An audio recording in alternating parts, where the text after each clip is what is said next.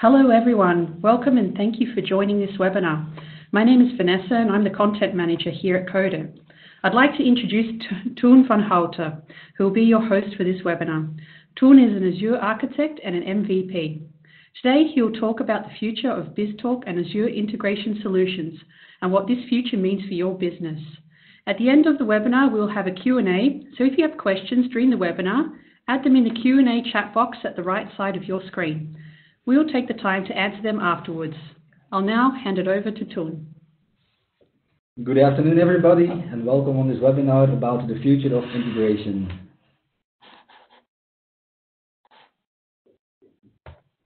So my name is uh, Toon Vanhoutte, I'm a solution architect at Codit. If you want to reach out to me afterwards, you can find me on Twitter through uh, Toon Vanhoutte. On the agenda for this webinar, uh, we will first have a look at the Microsoft integration strategy in general. Then I want to have a talk about Azure integration services. And then I want to focus on our vision about integration. And let's wrap up with a demo uh, that shows our vision on integration. So first of all, the Microsoft integration strategy. And this is probably a slide that you know because it's out already there for more than two years where uh, Microsoft has positioned Logic Apps and BizTalk Server at the heart of the Microsoft integration landscape. Together they have an enormous variety of connectors, BizTalk with uh, the typical um, on-premises line of business connectors, and Logic Apps has a lot of cloud-native uh, connectors to, for example, a wide range of SaaS applications. Thanks to the integration of Logic Apps with a lot of Azure services, Logic Apps is really the gate towards Azure. So Logic Apps and Azure integration in general can really be an enabler for your digital transformation because it brings your data already partially to the cloud where you can leverage, for example, uh, machine learning and uh, AI if needed. Both BizTalk Server and Logic Apps seamlessly integrate with Azure Service Bus, the asynchronous queuing uh, messaging system in the cloud. And if you want to expose uh, APIs on top of BizTalk of Logic Apps, they nicely integrate with API management. This summer, Jon Fancey, the program manager of um, Logic Apps, um, has um, yeah, written an important blog about, blog about the future of integration in the Microsoft uh, integration landscape. And I highlight a little bit the most important statements over there. And first of all, Microsoft wants to confirm their commitment to BizTalk Server, and therefore they were pleased to announce that they have begun work on the BizTalk Server vNext. So next year, in 2019, we can expect a new version of BizTalk Server, and this is really good news because this adds an additional 10 years of uh, supported BizTalk uh, functionality. So what can we um, understand from this is really that Microsoft still understands that there's a huge customer base that has its core systems running on premises. And for those customers, BizTalk Server is the only valid option at this moment in time. So this is what we need to understand from these uh, sentences. If you look a bit further into this block, we see the statement that Azure Integration Services will um, start having the ability to run on premises. And Azure Integration Services vision is to enable all customers to move to a modern, holistic, and rich integration platform as a service. So this is really should be understood as on the longer term that Microsoft only aims to have one integration platform, and this will be Azure Integration Services. And they they want to serve the customer needs both on premises, in the cloud, and of course in hybrid scenarios. So they are bringing Logic Apps and Azure Integration Services to on premises. So if we see this evolution, you see that the focus is more and more on Logic Apps and Azure integration and a little bit less on BizTalk server. So they are working, the product teams are working hard to have feature parity between BizTalk server and Logic Apps. So quite a lot of features in BizTalk, like the business rules engine and some accelerators are not yet available in Logic Apps. So that's something they are working on. On the next uh, hand, or the other hand, they are also working on an on-premises roadmap for Logic Apps. At this moment in time, Logic Apps cannot run on-premises, thanks to the introduction of the ICE, the Integration Service Environment, Logic Apps can already integrate with your virtual network and can connect through a site-to-site VPN or an express route to your on-premise systems.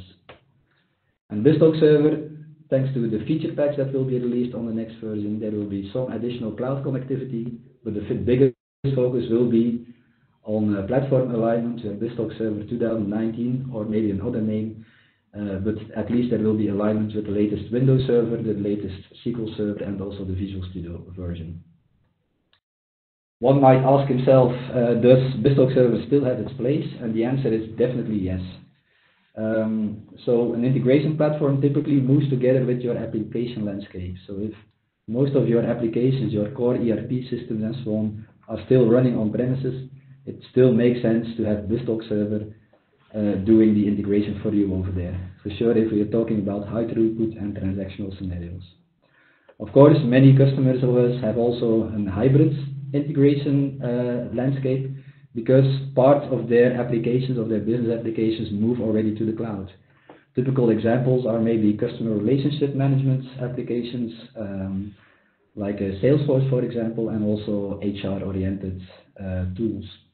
Of course, these applications also need your data, so that's why BizTalk Server can really uh, be the bridge between the on-premise environments and the, clouds. But of course, apply a cloud-first mindset. So everywhere uh, where you are already using uh, public internet to do integrations, for example, in a B2B scenario, when exposing public APIs or integrating with SaaS applications, definitely think of using BizTalk Server in combination with Azure Logic Apps and Azure Integration Services, because over there you can have cloud-first advantages. And of course, design with change and cloud in mind, which means Make sure that you decouple your integrations and you don't uh, start any spaghetti interfacing, because if you decouple, you can easily move one application to the cloud. Because if you're, for example, running uh, Dynamics AX at this moment on premises, it's likely that this application will move to the cloud within one, two, or maybe 10 years. So make sure you're prepared for that. And one a very important statement that we always uh, bear in mind is to apply one methodology regardless of the technology that you're using. So let's have a look a little bit on Azure Integration Services and what this means for integration. So Azure Integration Services is not only Logic Apps, of course Logic Apps is the core component, but it also includes API management, Service Bus, and Event Grids. Logic Apps is the uh, integration engine. I call it always the little brother of BizTalk, but then in a cloud native way in the cloud. It's very good to know that it's simple, user-friendly, and intuitive, so a little bit easier to use than BizTalk Server. But there's also a danger because thanks to that, uh, integration gets a little bit more democratized. But make sure that you do integration with a clear vision and with a clear architecture. Otherwise, you will end up um, with a mess that is unmanageable. The nice thing, of course, of Logic Apps is that it's pretty scalable because it's a serverless uh, technology, so you don't need to take care about the scale. Microsoft will just run the number of concurrent Logic App instances that you need. And you can also extend all the default capabilities of Logic Apps. So if you're facing a limitation or a feature that is not supported yet, you can always implement your custom codes. Then Azure API management is very important if you want to expose APIs, both internally and to the external world. It comes with a developer portal that is a live documentation of your APIs, so you can ensure the fast adoption of these APIs. In the publisher portal, you can control who has access to which APIs and can govern the whole onboarding process. And the gateway is the runtime component that will do security transformations, transformations on the payload, validations, routing, and, and some more features if you configure them. Then we have Service Bus, is a messaging system in the cloud it's there to decouple systems, uh, so to make sure that the sender is independent of the receiver. And luckily, this also supports the publish-subscribe uh, integration pattern thanks to its topics, where multiple subscribers can subscribe on the same copy of the message by having a filtered expression on the topic. And then the last one is Event Grid. This is also a publish-subscribe model, but this works in a push-push mode, where event sources, which are typical Azure services that can emit their uh, native event grid events to event grid. You can also add your custom events if you want to. And in event grid, you can specify to whom these events need to be forwarded. So then a webhook will fire and uh, Logic Apps, Azure Functions, or almost any HTTP-enabled uh, technology can subscribe to it. So this is really a push-push model where you can have a real fan-out scenario that one event that gets published can be routed, for example, to hundreds of uh, subscribers. Let's have now a look at our vision of Codit on integration. And in the end, it's all about an integration platform as a service. And first we had a look at Gartner, how they define an integration platform as a service. And in the middle, they define the typical integration stuff like B2B capabilities, application to application integration, and support for many communication styles and protocols. But you see also that it's a lot more than this. It's also about governance, making sure that your APIs are well governed and secured, that you have fast adoption over there, and also governance about your applications. So application lifecycle management and automated deployments are very important. Don't forget the administrative part and the operations, uh, which focuses often on security and monitoring, because in the end, once your solution is in production, it will need to be maintained. So we made our own version of this, and this is actually the architecture building blocks that we defined. First of all, a solid infrastructure that is provided by Uh, the Azure cloud in general. Then on top, a messaging layer which provides routing and reliability in a store and forward way. Then the integration layer is of course where all the magic happens. You have the transformations, you have the different protocols that are supported, and the connectivity towards the backend systems. If you're dealing with APIs, a separate API layer is important to have the right versioning, security, and governance strategies over there. Security is, of course, uh, extremely important. You need to have good access control and auditing on your environment. And of course, in integration, you need to connect quite a lot to other systems using credentials and access keys. So also these need to be managed in a secure way. Application lifecycle management and automated releases are extremely important in the cloud uh, because doing this manually is quite error prone and is really not the advised way to go. Then as a last supporting building block, we have monitoring and operations, where you need to have proactive alerting and of course end-to-end -end correlation uh, of the events, so your integration platform is not a black box anymore. If we map this on the technology, you see centrally the Azure integration services, where API management, logic apps, and service bus are the most important ones. Don't forget to look at Azure Data Factory if you're really uh, working with uh, data-oriented orchestrations. Azure DevOps is the way to go for automatic deployments. Key Vault is a secure store uh, that handles all your credentials, so be sure to integrate with that. And from a monitoring perspective, Azure Monitor and Application Insights are extremely important. So we came up with a reference architecture, and we have two of them. The first one is a reference architecture for asynchronous messages, messaging which defines how these um, technologies actually work together within an integration. So in an asynchronous integration, you typically have a data source and a data destination. You could have multiple sources and multiple destinations. And we define always a receiving logic apps, a logic app that executes the receive processing for example, transforming the message, validating the message, enriching and extracting some content. So typical VETER pipeline execution. The data can be pushed through API management to the logic app, or the logic app can pull for the new data through API management. Of course, not all communication is HTTP enabled, so the logic app could also go directly to the data source in a push or a pull way. This could be by using the FTP adapter or going directly to the Oracle or the SQL database. These receive processes then publish the message on the service bus, adding some context properties, some metadata on which sending processes can subscribe. You see in this case here a sending logic app that subscribes with a certain filter expression on certain messages and then invokes the backend system through API management.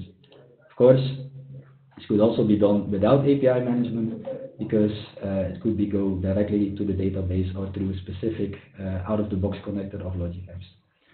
So you see this is a decoupled design where you completely decouple the receive side from the send side. This gives a lot of advantages. If a new destination uh, needs to join, you just add a new Logic App and you're good to go. If you get a new input uh, source, you just add a new input source and you're again good to go. If there's a maintenance on this application, just stop this logic app and all the rest still works as it should be. if this application has limited uh, throughput capabilities, you can put throttling over here. So you only go with a maximum of two concurrent calls to this application, while this logic app is still sending at its maximum uh, speeds. And actually, you see that this is a copy of the internal BizTalk architecture that we already use for years. You have BizTalk receive locations, the message box, and BizTalk send locations that subscribe. Here we have Sentinet, which is an API management tool that is often used on premises. And it's good to know that this is a better together scenario, so you can have perfectly have a message that arrives, for example, in the cloud, an EDI message through AS2, that gets published on the service bus, and the BizTalk receive port is picking it up and, for example, importing it into SAP on premises. So this is using the same methodology, but on a different technology. So this is very important. If you look at synchronous APIs, we tend to avoid uh, introducing, let's say, the, the queuing system, because in the end, APIs nowadays need to be uh, low latency, so they need to be extremely fast. So that's why, if possible, we try to do all the transformations and routing in API management.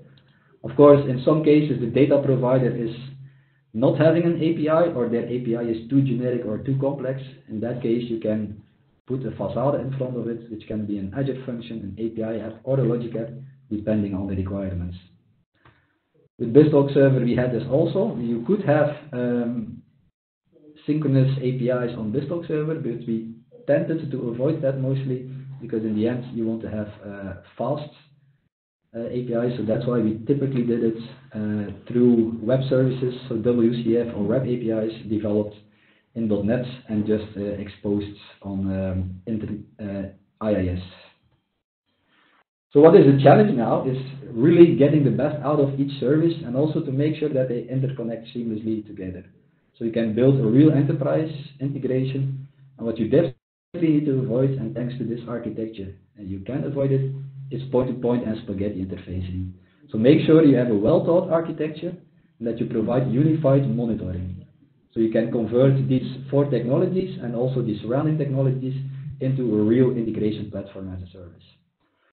So at Codit, um, we aim that we were capable, let's say, to do this, yeah? and this was also thanks to Invictus, our integration suite, which really reflects our methodology. And this Invictus suite is available both for BizTalk Server and uh, Azure Integration Services. It comes with a dashboard that really is um, providing visibility into your message exchanges. It comes, of course, with our integration methodology, where we have a lot of best practices and jumpstart templates that are ready to be automatically deployed, and we optimize them for operations. So there's end-to-end -end correlation and a good monitoring. And in the end, it comes also with a framework where we implement um, integration patterns like uh, double checker and sequence controlling. These are all configuration based, built by experts, and both available in BizTalk and Azure Integration Services. So let's now have a look at the demo scenario. And in this demo scenario, we have a fictitious company called Codito. It's a car manufacturer. And in the end, they want to, of course, have their orders handled automatically. In the end, all the orders should end up in Salesforce because that's the main ERP system that they are using. But they have another division, they acquired another division, and they are using Teamleader. And Teamleader is a CRM and project management application, and there you have the ability to follow up on deals or opportunities. So once an opportunity is won in Teamleader, it's the intention to configure Teamleader to invoke logic apps. So in the end, over a publish subscribe, the order will be created in Salesforce. So that's the first thing that I will do in this demo. The second thing that, that I will show you in the demo is an EDI message that gets received through an AS2 endpoint. So this is a typical B2B scenario, also perfect for clouds, where the logic app will handle all the EDI stuff, and in the end will publish the message also on the message box, or in this case on the service bus, and with the same logic app, it will go to Salesforce. So this is really using that decoupled architecture. So let's have a look at Teamleader to do this demo.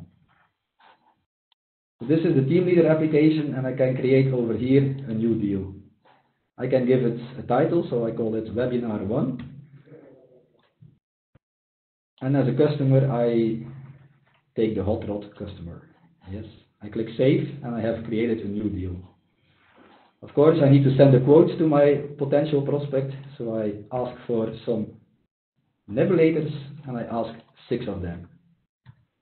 So I do the proposal to this prospect with the price for six nebulators.